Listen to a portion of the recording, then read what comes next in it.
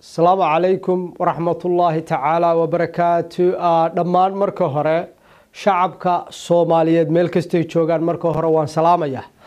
Marka xigta jamhuuriyadda somalilan ama dalka maaragtay jamhuuriyadda somalilan waxaa soo baxday in niciimo oo la wada garanayo oo ahayd gabadh abwaanada in xukuumadda kale taliska uu hogaaminayo muuse biixi cabdi ay gabadha iyada ah saddex sano oo maaragtay xadhiga ay u dirtay. Iyadoo lagu eedeynayey maaragtay niciimo ama xeer ilaalintu ay dacwadaha ay keentay oo dhowr qodob ahaa markii hore qarannimada wax kullid ah iyo wax kullid ah maaragtay ceebaha iyo fadeexaynta qaranka qodobka qodobka iyo qodobka laba waxaan u malaynayaa in qodobada iyada ah xukuumadda u talinaya muuse biixi cabdi ay ku weyday ama garsoorka dalku uu ku waayey dembiyada gabadha lagu soo oogay.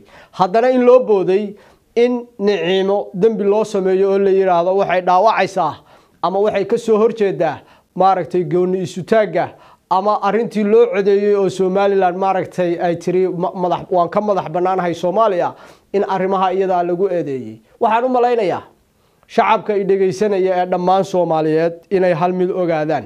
Shacabka somalilan waxaa g d b-ga marka la eego ku cad milyan shacabka somalilan cid la weydiiyey soomaaliya inaynu ka go-no oo soomaaliya aynu ka noqonno ma jirto. Cidda la weydiiyey waxaan rabaa si dadku ay u fahmaan arinta niciimo inay tahay arrin dulmiya niciimo inay xadhi ku jirto oo niciimo qorona saddex sano lagu xukumo diinta islaamkuna ma qabto dastuurka somalilanna ma qabo. Haddii wax yar aan eego niciimo qodobada loo daliilsaday ama garsooruhu uu daliilsaday xataa wax asal ku ah ama somalilan xeerar ay iyadu leedahay ama penalty code aynu leenahay may ahayne waxay ahayd penalty codekii qarankii soomaaliyeed maaragtay ayaa gabadha iyada a lagu xukumay. Waxaan u malaynayaa qaranku inuu ogaado marka hore in hargeyso gudaheeda iyo meel kasta oo xusbiga kulmiye uu u duulo inuu ka sameeyo falalka gabadha niciimo qorane. Dembiga loogu samaynayo falal ka badan. Tusaale yarna waan tusayaa.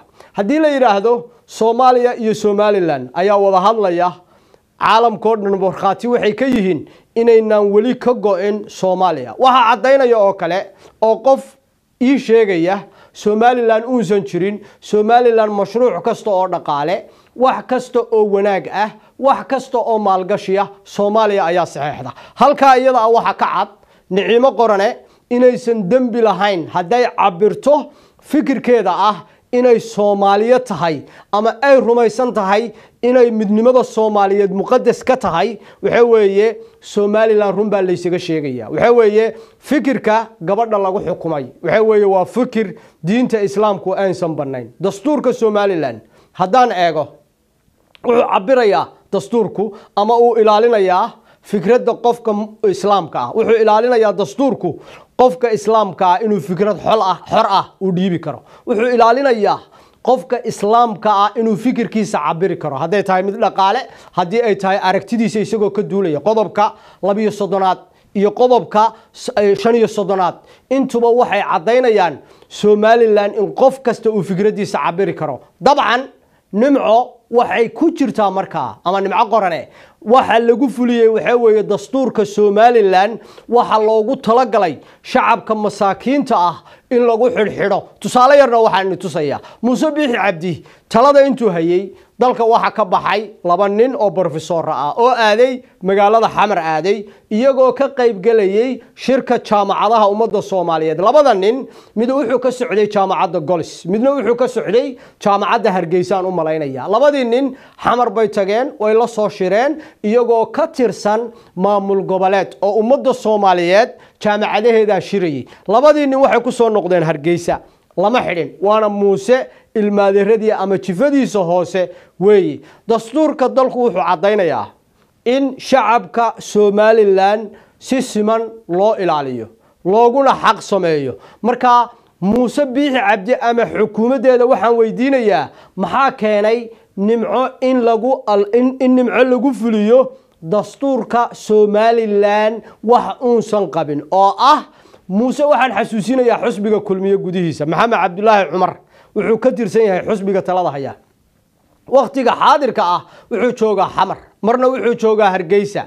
Wuu tegayaa wuu soo noqonayaa. Dastuurku ma qabanayo dabcan waxa weeye somalilan dastuurka waxa loo sameeyey shacabka somalilan inuu ilaaliyo. Laakiin xusbiga talada haya ee kulmiye wuxuu caadaystay shacabka somalilan inuu maaragtay xanuujiyo shacabkii ahayd in la ilaaliyo. Waxaan diidanahay oon ka soo horjeedaa fikirka ay cabiraysay niciimo fikir xalaal ah ayuu ahaa. Waxaan diidanahan ka soo horjeedaa gabadh caddaysay inay soomaaliyo tahay.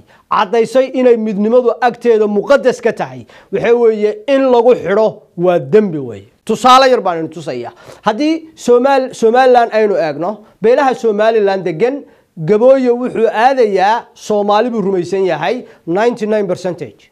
Dhulbahanta wuxuu rumaysan yahay percentage soomaali weyn bay rumaysan yihiin. Dabcan samaro waxay rumaysan tahay percentage soomaali weyn bay rumaysan tahay. Dabcan shacabka somalilan way maqlayaan. Haddii beesha dhexe gudaheeda aan iskula tagno waxa weeye kala badh waxay rumaysan yihiin midnimada ummadda soomaaliyeed. Muuse biixi cabdi waxaan weydiinayaa hal qodob. Waxaad ku dhaaratay dalka markaad qabanaysay shacabka somalilan inaad cadaalad iyo xaqsoor aad ku maamulayso dabcan somalilan si loo arko somalilan inuunasan dastuur ku shaqayn. Muuse biixi cabdina uu somalilan iyo soomaaliba wanaaggeeda diidan yahay qodob baan idin tusaya haddii muuse dowlad uu dhisay siddeetan iyo toddoba uu magacaabay xil. Maxaa hal beel siiyey? Lixdan iyo shan. Xil maxaa siiyey? Intii kalena saddex iyo labaatan xil loogu qaybiyey. Dabcan muuse biixi cabdi waxaad aragtaa wuxuu ku dhaartay inuusan fulin. Somalilan lagama yeelayo in dadi xamar tagaan ay soo noqdaan aan la xidhin. Laakiin dadka masaakiinta ah in xabsi lagu guro waa cadaalad daro shacabka i dhegaysanaya dhammaantood waxaan u sheegayaa. Maxkamadda dalka ninka haysta ee garsooraha ah. Walaalkii oo ah cabdalle xaaji cali isaguna waa aadan xaaji cali ayaa waddanka soo galay.